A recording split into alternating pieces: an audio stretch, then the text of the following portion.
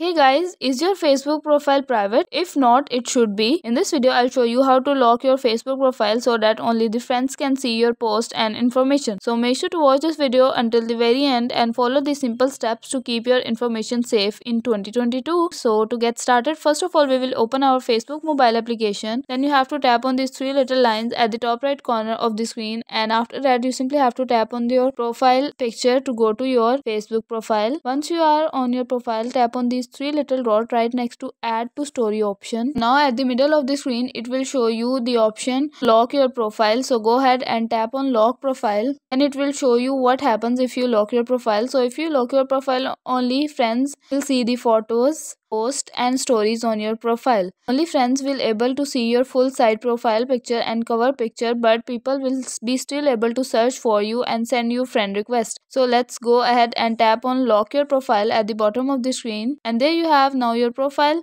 has been logged on Facebook. And now if you want to unlock it, simply tap on these three little dots again and then tap on unlock profile and your profile will be unlocked. Okay, so guys, that's it for today. Hope you guys like this video. If you guys like the video, give it a thumbs up. Don't forget to subscribe the channel, hit the bell icon. Thank you for watching.